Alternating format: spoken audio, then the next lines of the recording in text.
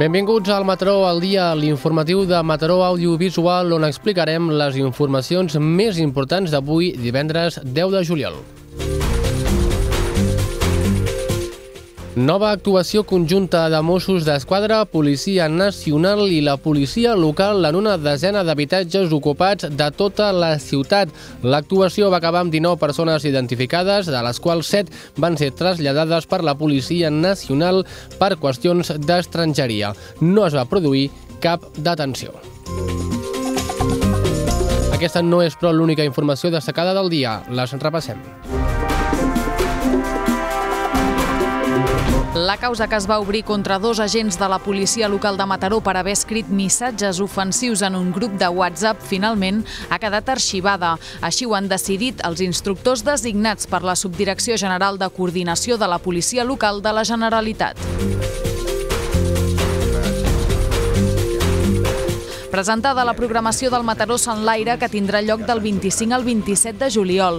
Es faran 56 actes en 8 escenaris amb un 90% d'artistes locals. Hi haurà flamenc a càrrec de la Casa d'Andalusia o música amb la Vic Banges Maresma, l'agrupació musical del Maresme o l'Orquestra de Mataró, entre d'altres. El Centre Natació Mataró treballa per poder presentar la propera temporada als dos equips a Europa. La realitat econòmica, però, posa en entredit un cop més que el Quadis Mataró pugui tornar a jugar pel continent. El festival Nosaltres dona el tret de sortida. Aquest dijous ha estat el torn de Clara de Ramon i Marc Rius. La primera sessió al pati de Can Marçal ha omplert l'aforament previst. La vetllada s'ha tancat amb música electrònica de Marc Norel i Pat Esparriba.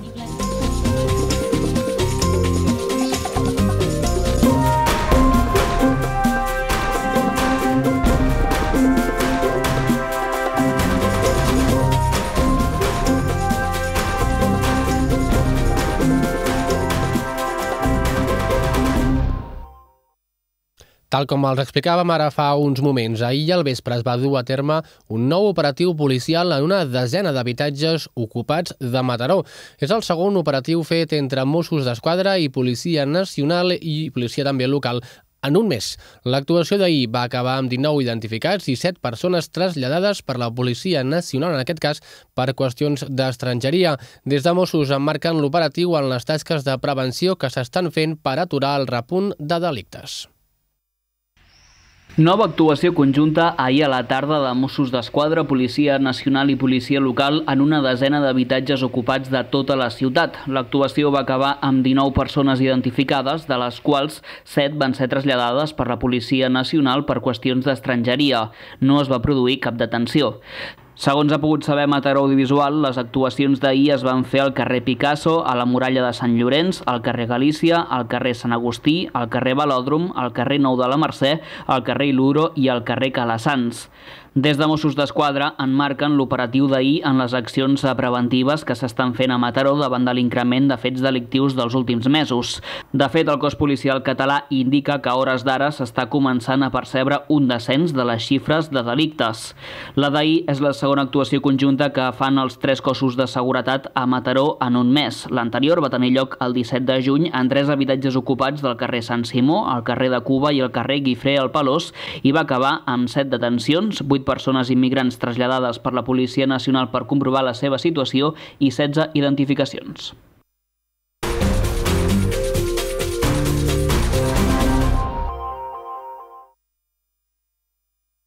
Arxivada la causa contra els dos policies locals que van escriure missatges ofensius en un grup de WhatsApp del cos.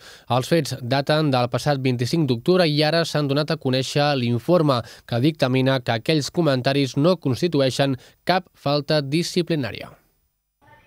La causa que es va obrir contra dos agents de la policia local de Mataró per haver escrit missatges ofensius en un grup de WhatsApp finalment ha quedat arxivada.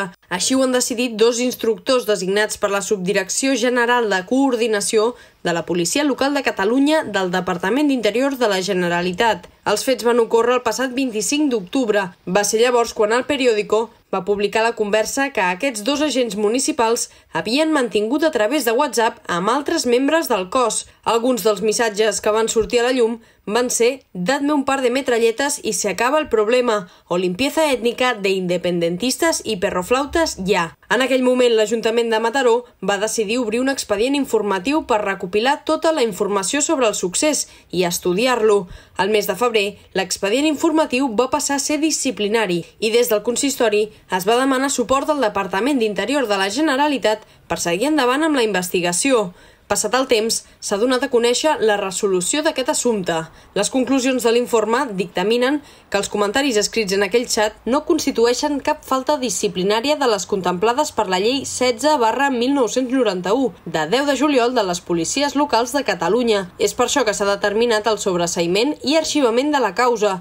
A més, en aquest informe també s'especifica que només s'han pogut identificar dos dels agents que van participar en aquella conversa. El govern de la ciutat ja ha reaccionat a aquesta decisió presa pel Departament d'Interior i ho ha fet condemnant les expressions i missatges d'aquest xat privat en què hi havia altres membres del cos. El primer tinent d'alcalde a l'Ajuntament de Mataró, Juan Carlos Jerez, així ho ha expressat aquest matí a Mataró Audiovisual. Ha explicat que missatges com els que van sortir a la llum són, ha dit, inadmissibles en un cos policial, però que, a conseqüència d'haver mantingut l'anonimat, l'Ajuntament i els instructors del cas cas, no han tingut tota la informació per saber la veritat i depurar responsabilitats. És inadmissible aquest tipus de, de comportament, en aquest, en aquest cas verbal, en aquest, eh, o sigui, aquestes expressions són inadmissibles en un, en un cos policial i en la funció policial. O sigui, no és un bon policia, no és un policia, de fet no hauria de ser policia, qui s'expressa amb alguna de les coses que vam llegir no poden haver persones que no entenen eh, doncs la, la, que no entenen la llibertat d'expressió, que no entenen el pluralisme polític o que eh, expressen eh, o que fan expressions d'odi o, o, o com les que vam llegir. O sigui, és a dir, que si la transcripció és certa i està dins dels context, del context que semblava, són conductes que són intolerables. El que passa és que s'ha fet en una, en una xarxa, en un grup de WhatsApp privat i eh, eh, l'Ajuntament i els instructors no han tingut tota la informació suficient per identificar qui va dir què. O sigui, ha, ha faltat, per saber la veritat i per poder depurar de debò responsabilitat, ha faltat que, eh, que algú sortís de l'anonimat i facilita la, la informació i això no ha passat ni en l'expedient informatiu primer ni en l'expedient disciplinari després. Esquerra Republicana, el moviment d'esquerres, també s'ha pronunciat. Ho ha fet lamentant la situació. Asseguren que la decisió de la instrucció policial era previsible i han trobat a faltar que durant els mesos de confinament no s'hagi identificat les persones que havien escrit aquests missatges. La formació també avisa que revisaran l'expedient per analitzar si es pot fer un pas més enllà. Escoltem el cap del grup d'Esquerra Republicana a l'Ajuntament, Francesc Teixidor lamentablement previsible, eh, en línia amb la impunitat habitual de no només el, el, aquest cos, sinó altres cossos policials. No deixa de ser lamentable que amb tot el confinament que ens han dit que han estat treballant durament no hagin estat capaços ni tan sols d'identificar les persones que havien fet aquests comentaris i que hagin considerat doncs, que no tenia cap mena de, de rellevància. Ens revisarem l'expedient, mirarem a veure fins on podem arribar i si el podem traslladar a alguna altra instància. Pel que fa a Junts per Mataró, ahir a la tarda van emetre un comunicat on ja van expressar la seva disconformitat amb la resolució de la causa. Consideren evident el delicte d'odi contra el col·lectiu independentista i és per això que volen traslladar el cas a organismes jurisdiccionals competents. També han trobat a faltar alguna reacció més contundent per part de l'Ajuntament.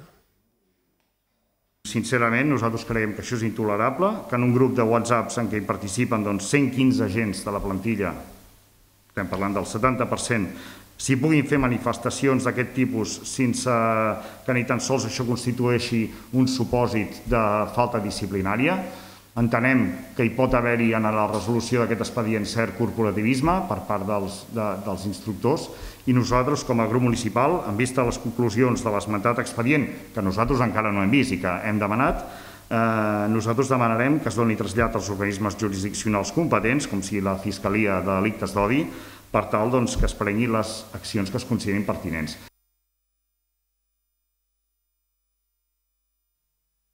Per últim, qui també s'ha pronunciat sobre aquesta qüestió ha estat el grup municipal de Ciutadans, liderat per Cristina Sancho. En el seu cas, ha mostrat el seu acatament vers la resolució d'aquest expedient. El grup municipal...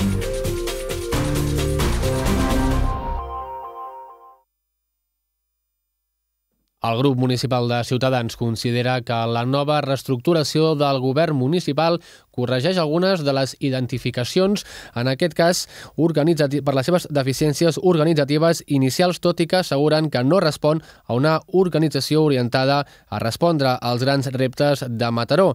Entre aquests reptes destaquen també la seguretat econòmica, el desenvolupament empresarial que ha de permetre afrontar la crisi econòmica i social derivada de la pandèmia de la Covid-19. La formació, liderada per Cristina Sancho, també assegura que la situació econòmica i de seguretat és pitjor avui que fa un any i que el govern municipal ha desaprofitat un any de mandat.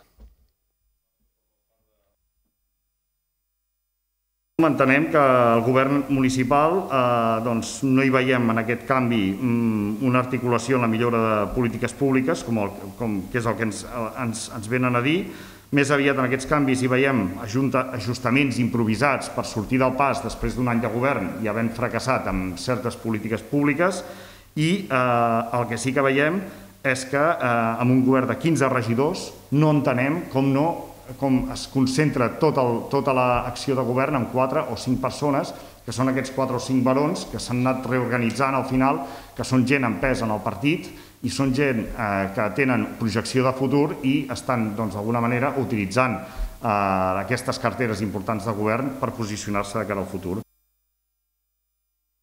Junts per Mataró, per la seva banda, ha volgut destacar tres aspectes referent a la reestructuració del cartipàs municipal. En primer lloc, han volgut reafirmar la mala decisió que va suposar la creació de la Superregidoria d'Ensenyament i Urbanisme i que dirigia Miquel Àngel Badell.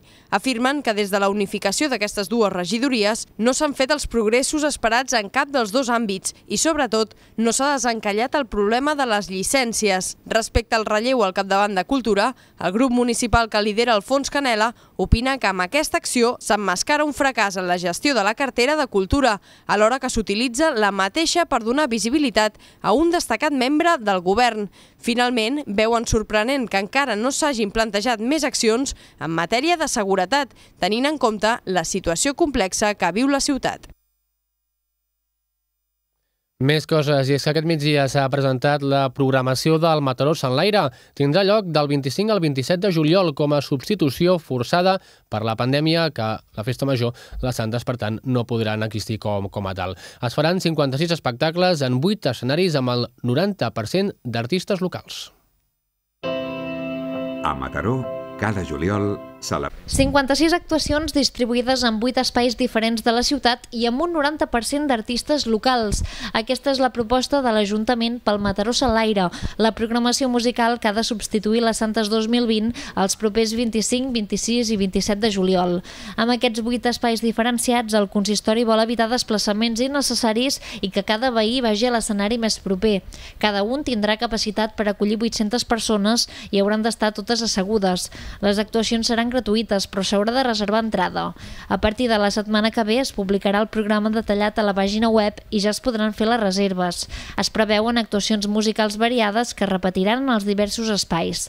Es combinaran també amb 16 propostes d'entitats del municipi. Un dels actes que han volgut ressaltar és l'agraïment que donarà el tret de sortir de la festa i, tal com diu el nom, donarà les gràcies a totes aquelles persones que han estat a primera línia durant la Covid-19.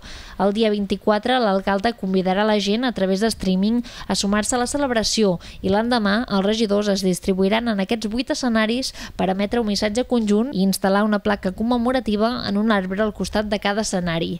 L'acte de clausura serà l'homenatge, un espectacle visual en record a la gent que ha perdut la vida durant la pandèmia.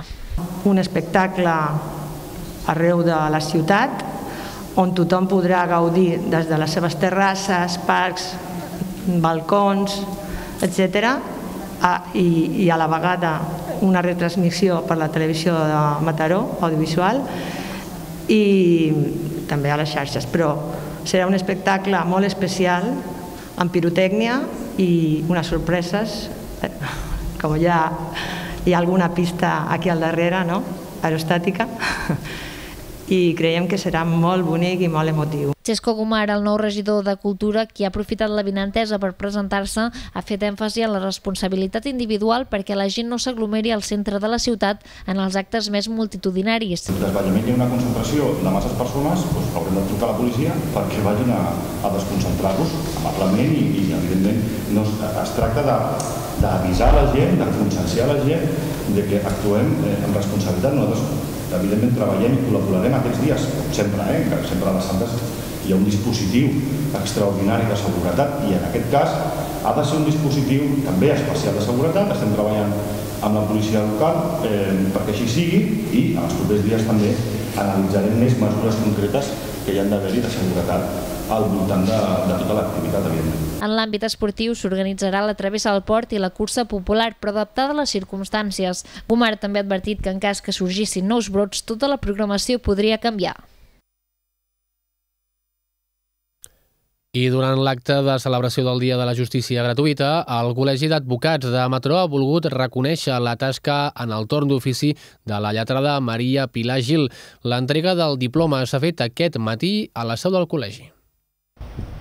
El Col·legi d'Advocats de Mataró se suma un any més a la celebració del Dia de la Justícia Gratuïta, que té lloc el 12 de juliol. Aquest any, com que cau en diumenge, la celebració ha tingut lloc aquest divendres a la seu del col·legi, darrere els jutjats de Mataró. Tenint en compte la crisi sanitària, aquest any aquesta efemèride es redueix a la mínima expressió i s'ha limitat únicament al lliurament d'un diploma com a reconeixement a la lletrada Maria Pilar Gil per la seva tasca en el torn d'ofici. El president del torn d'ofici de Mataró, Joan Anguita, ha aprofitat l'acte per reivindicar la feina i l'entrega del torn d'ofici i especialment durant l'estat d'alarma per la crisi sanitària, quan la seva tasca ha estat poc reconeguda. Ningú s'han recordat de que durant el Covid i durant el confinament hi ha hagut aquí a Mataró igual que tot l'Estat, hi ha hagut, doncs, aquí a Mataró, el que és la, la comarca, hi havia cada dia quatre advocats que estaven amunt i avall, amunt i avall, anant a comissaries, jutjats, eh, tant de temes d'estrangeria, violència de gènere, assistència al detingut, dic, eh, i menors.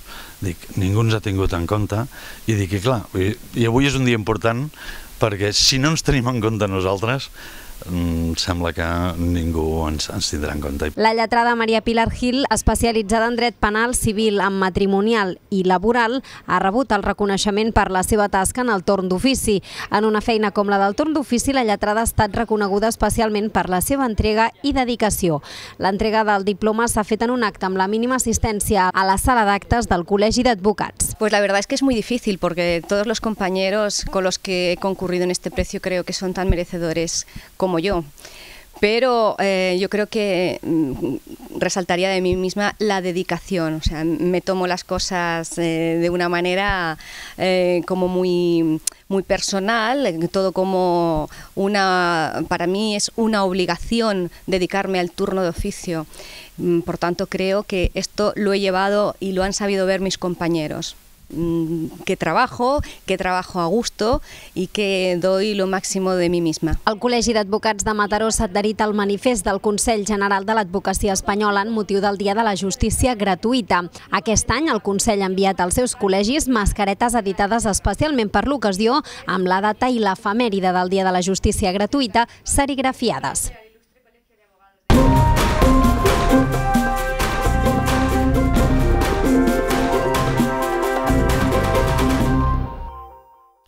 I en plana esportiva els expliquem que el Centre Natació Mataró treballa per poder presentar la propera temporada als dos equips a Europa, una competició que va tenir un gust amarg per l'equip femení en la darrera edició, però que en canvi, l'equip masculí va fer una de les actuacions més destacades. La realitat econòmica, però, posa en entredit un cop més que el Quadis Mataró pugui tornar a jugar pel continent.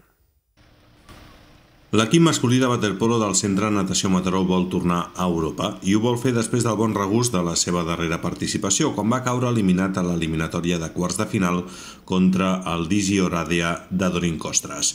Però un cop més la seva participació dependrà de factors econòmics, perquè el club torna a tenir els problemes de sempre més els afegits per la situació actual. Joan Marriera és el director esportiu de l'entitat, que lamenta els problemes que tenen cada any per poder portar l'equip a competicions continentals. Cada any.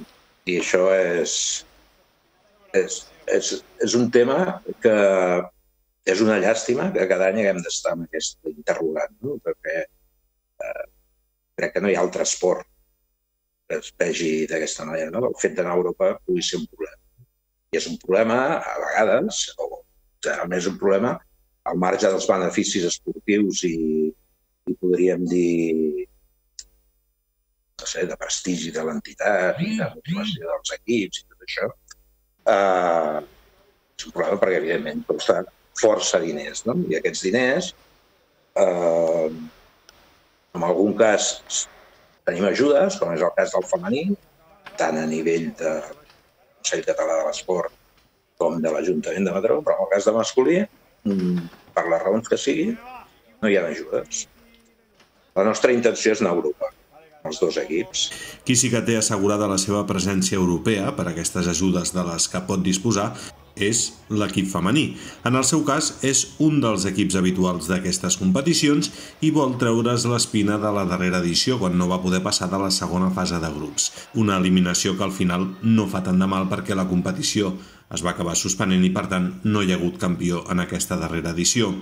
El relleu a la banqueta amb l'arribada de Dani Ballart o la incorporació de quatre jugadores, la nord-americana Daniela Jakovic, la holandesa Vivian Sevenich, la portera Maria Elena Sánchez i la jove promesa Alejandra Aznar ha de permetre veure una versió millorada de l'equip que tindrà com a objectiu fer un millor paper a Europa i lluitar per totes les competicions en joc.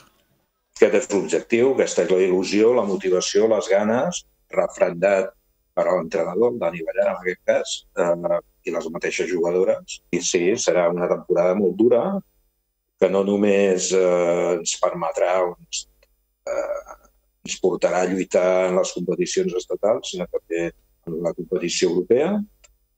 Veurem a nivell eh, continental com queda tot plegat i finalment el que jo crec que és més important per tots de, de molt nivell, no? que a més a més ha d'ajudar les nostres jugadores internacionals a fer-se un lloc a l'equip olímpic de fet, la competició europea en vista de l'afectació de la Covid-19 ha redefinit també el seu calendari. L'Eurolliga femenina tindrà la primera fase a finals de novembre, mentre la primera ronda de l'Eurocup masculina està marcada pel cap de setmana d'entre el 30 d'octubre i l'1 de novembre.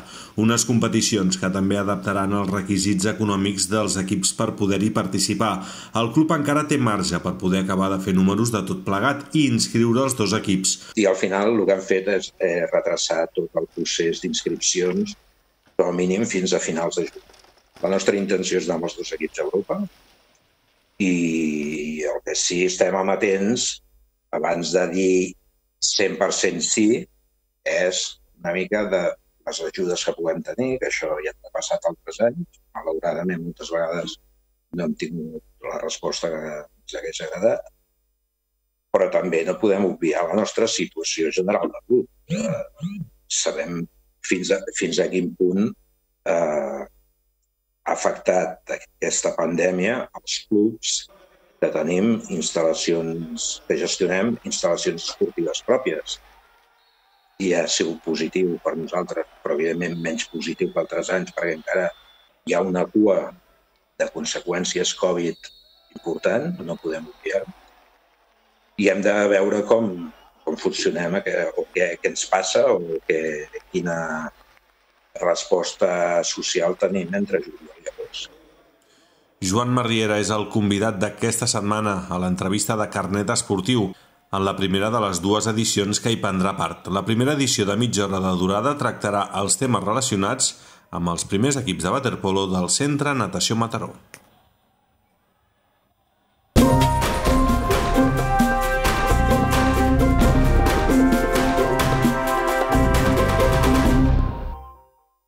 I Obrim Cultura parlant del festival Nosaltres, que s'estrena enmig de ganes i d'expectatives. El públic va respondre i va ocupar les cadires habilitades al pati de Camp Marchal en la primera de les actuacions d'aquest estiu. Primer dijous de festival i primera bona resposta del públic. El festival Nosaltres s'ha estrenat amb èxit i ho ha fet amb ganes i il·lusió de retrobar-se. Des dels primers compassos, ja abans de començar, es van copsar aquestes sensacions entre els primers assistents. En parlen els responsables del festival, Eloi Aymeric i Cristina Madrid. Estem molt satisfets, hem venut entrades, la gent ha començat a validar les seves entrades de code tickets, la gent està seient, està somrient perquè se'ls veu amb les uh, arrugues dels ulls, uh, la gent està comprant una cervesa, s'està saludant, i això ens fa molt feliços. Ens estem començant a trobar amb la cultura com a, com a centre i això és una satisfacció molt gran. Molt bones, molt bones sensacions, molt bones. No estem veient com la gent es retroba, com se saluda i nosaltres quan ens imaginàvem el festival que va ser quan estàvem en ple confinament la, jo crec que totes dues teníem aquesta imatge al cap no, no de, de com la gent es retrobarà aquí, vindrà, se saludarà, tornarà a gaudir de, del directe, de venir, fer una cervesa, i aleshores clar, que, que, que estigui entrant la gent quan encara queden estona perquè puguin entrar i veure com això s'està omplint, doncs sí, ja és un èxit. La sessió va començar amb el testimoni de l'actriu mataronina Jessica Pérez, qui va explicar com ha estat mare en ple confinament. És una de les iniciatives de l'organització poder escoltar precisament testimonis i relats d'aquests darrers mesos. Després va ser el torn de Clara de Ramon i Marc Rius, que van protagonitzar el debut del festival. El municipal heu posat el preu. No, no, no, excel·lència, mateix preu. Però el nostre públic té vergonya d'entrar als teatres dels senyors. Els senyors es queden a casa perquè aquest repertori no el volen i els teatres estan buits. Faran un petit, eh, una lectura dramatitzada Aleshores hi haurà un espectacle de verticals eh, de duo pates per arriba, que són dues noies que són artistes residents de l'Escola de Circ de Mataró, de Cronopis, i acabarem amb música electrònica de Marc Norel. És la primera de les trobades que oferiran cada dijous d'aquest estiu. La distància és justament L'exposició Caput Out Navis, cara creu, ens explica la història del joc a través dels estris recuperats d'èpoques anteriors que els nostres avantpassats feien servir com a jocs o joguines. Es tracta d'una mostra itinerant produïda pel Museu de Granollers i la Diputació de Barcelona. Fins al 22 de novembre es pot visitar ara al Museu de Mataró. El nostre company Oriol Debat hi ha estat per acostar-nos tots els detalls. Avui els presentem l'exposició Caput Aut Navis, una mostra, ara en parlarem, lògicament, d'aquest títol, que, que és un repàs, que és un, una volta, un passeig pel món del joc i de la història de la joguina. En volem parlar amb la conservadora del Museu de Mataró, amb la Mireia Blesa. Què tal? Benvinguda. Hola, què tal? Doncs, eh, Mireia, començant pel que ara dèiem els espectadors per aquest nom, Caput Aut Navis, sí que és una traducció llatina que al cap i a la fi ens parla d'aquest joc tan típic del cara, del cara o creu que tenim instaurat ara a la nostra societat contemporània. No? Com, com, com ha vingut aquest, aquest títol exactament? Doncs com bé dius, és una locució llatina eh, que, que el seu nom és Caput Navis i agafa el nom d'una moneda. Eh, és a dir, a la banda de la cara hi havia el cap del déu Janus i a l'altra banda hi havia una nau de guerra, una embarcació de guerra romana. Per això agafa aquest nom, perquè tenia aquestes dues cares, la, el cap del déu i l'embarcació. Per això li diuen caput navis, que traduït al llatí vol dir això, el cap i l'embarcació.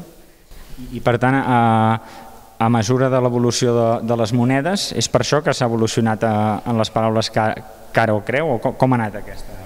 Sí, podríem dir que sí, que a mesura que, que avancem, que evoluciona la història i la cultura material, aquesta moneda que van agafar els romans com a icona, després, en època medieval, va canviar i, i es va fer servir la moneda que coneixem ara amb aquest nom, no? la cara i la creu, la creu medieval.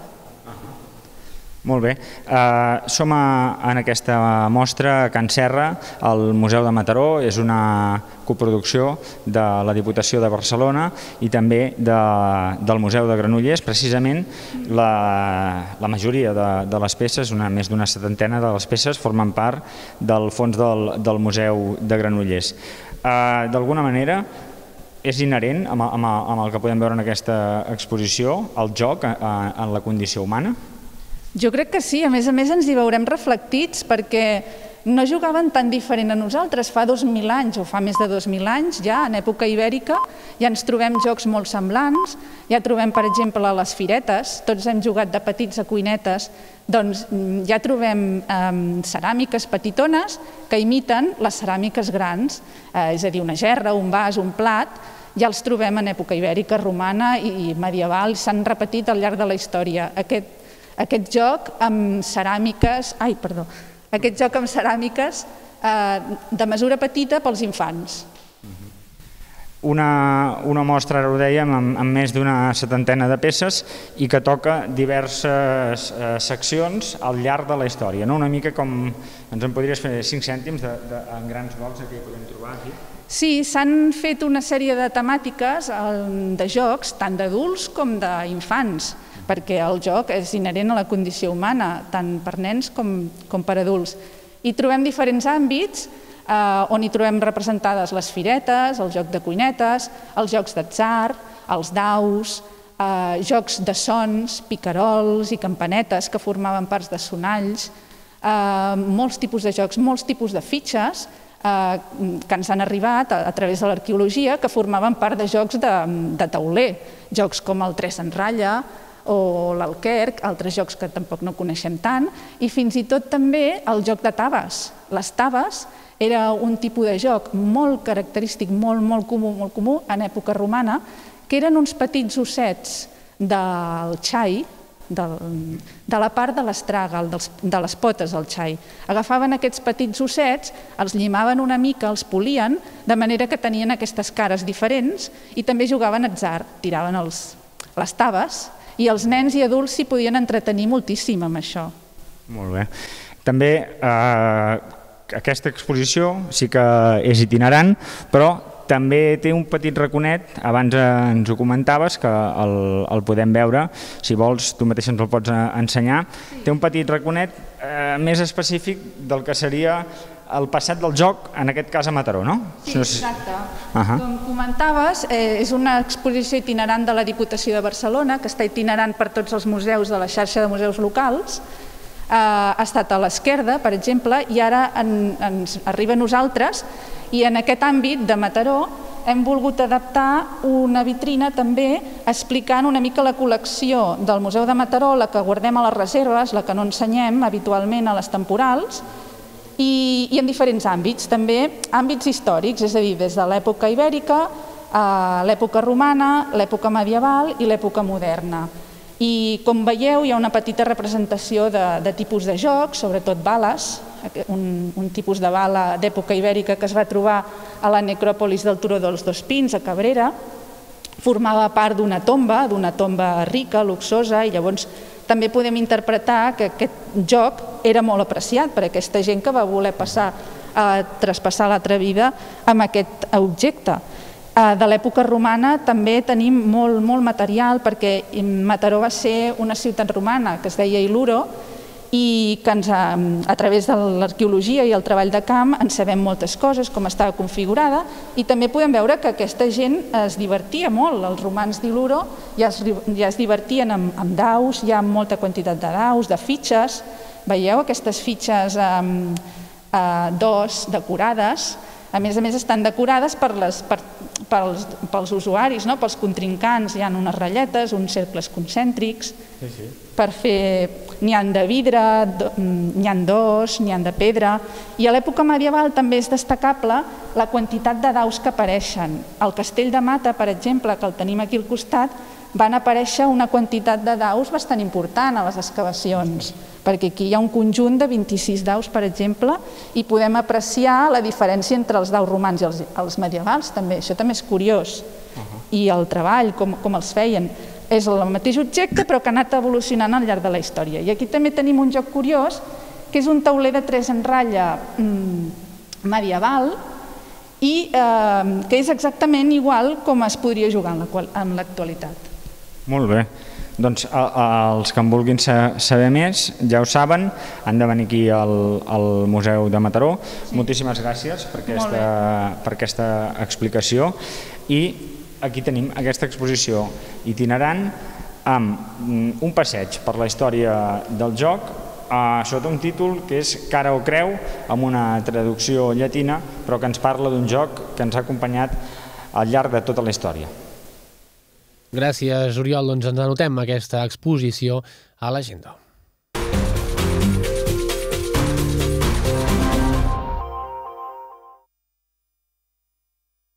Moment per repassar a la predicció meteorològica. De cara a les properes hores, la comarca s'espera l'arribada de núvols prims. Les temperatures mínimes es mantindran i aniran dels 19 als 23 graus, mentre que les màximes pujaran i se situaran entre els 27 i els 30 graus. La resta de la predicció pel que fa al conjunt de la província ens l'avancen els nostres companys de Meteo.cat.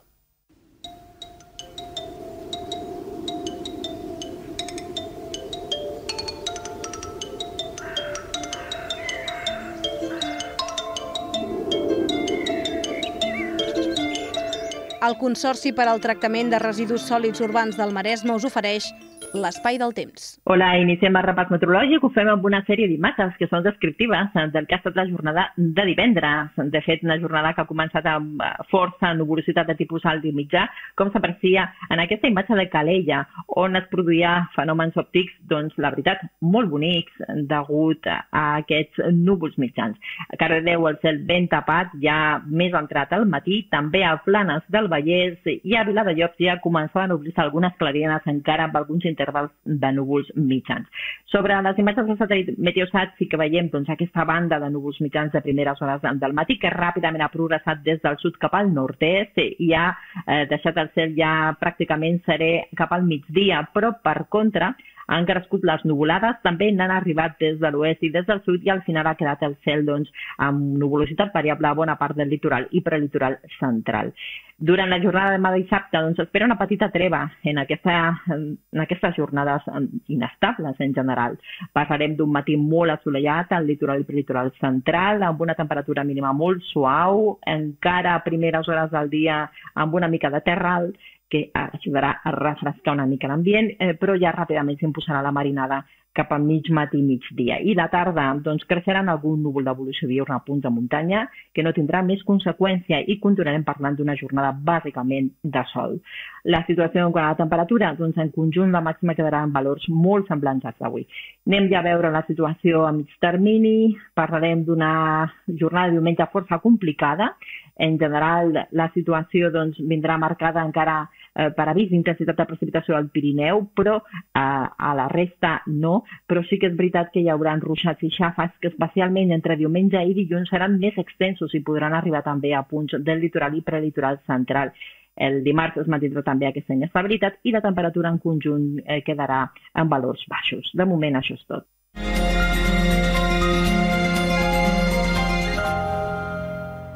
Anem acabant abans, però repassem el tema amb el que hem obert aquest informatiu. Els hem començat explicant que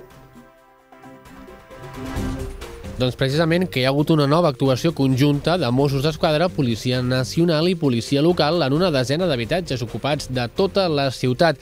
L'actuació, recordem, va acabar amb 19 persones identificades, de les quals 7 van ser traslladades per la Policia Nacional per qüestions d'estrangeria. No s'ha produït cap detenció. I aquesta no ha estat l'única informació destacada del dia. Les repassem.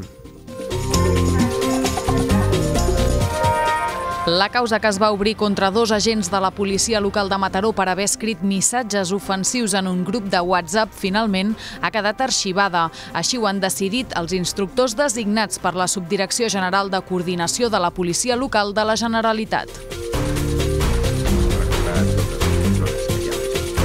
Presentada la programació del Mataró Sant Laire, que tindrà lloc del 25 al 27 de juliol.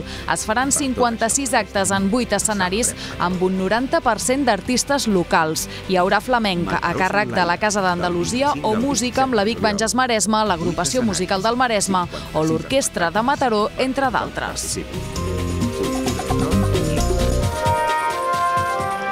El Centre Natació Mataró treballa per poder presentar la propera temporada als dos equips a Europa.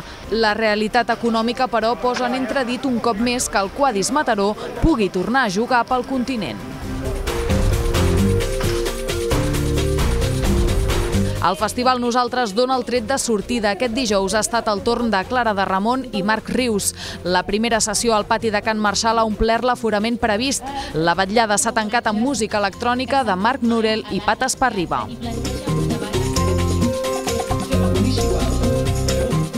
Deixem aquí. Ens hi tornem a posar dilluns a dos quarts de nou del matí amb l'informatiu matinal de Mataró Ràdio i a les 7 de la tarda amb una nova edició d'aquest Mataró al dia. Mentrestant, ja saben que ens poden trobar tant a mataroaudiovisual.cat com també a les nostres xarxes socials a Mataró Notícies. Moltes gràcies per la seva confiança, que tinguin un molt bon cap de setmana i fins dilluns.